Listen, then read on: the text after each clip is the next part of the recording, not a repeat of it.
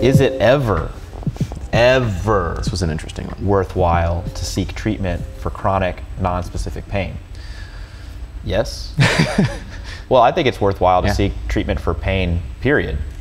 Um, I assume this question probably means like use of pain medications, um, but I'm not going to say that that means treatment. So treatment would be seeing a clinician, being evaluated for potential causes of pain, involving the patient, exploring this biopsychosocial model together, coming up with a shared management plan, and moving forward from there. So I would say if a person has pain and they're concerned about it, you see your medical professional.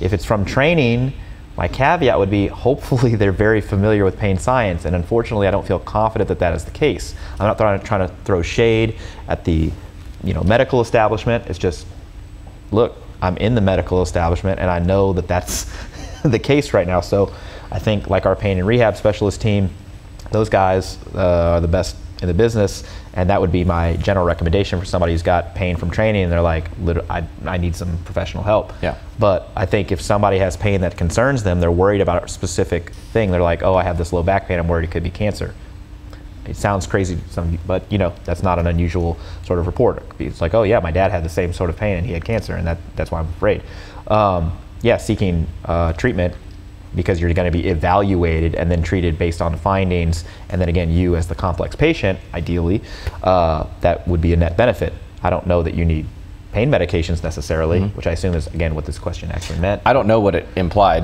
Yeah. When I read the question, I said, I hope I didn't convey the message during my lecture that it's not worth seeking help for Yeah. pain related issues, because that's certainly not the case. yeah in fact the opposite Yeah, it's very common for people to need help. I think that we definitely provided you with information, education to hopefully empower you to self-manage many of your like common mm-hmm. routine day-to-day aches and pains type situations.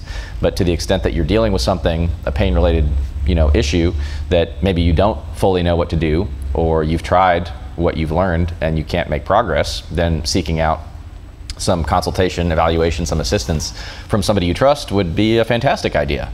Now, we cannot guarantee what that that person will do, will will offer you, will recommend to you, unless it's somebody from our own rehab team. Uh, you know, I've definitely seen patients who end up seeing a pain specialist or something, and you know, bad things end up getting ruled out, and they get a prescription for an opioid. That probably wouldn't be the case that I would go with this myself, nor would it be the, the way that our rehab team would go. So we have a resource that we can offer that we trust and recommend without reservation. Um, but if you are struggling with with an issue like this, then seeking help is definitely the way to go. Would recommend. would recommend yes all right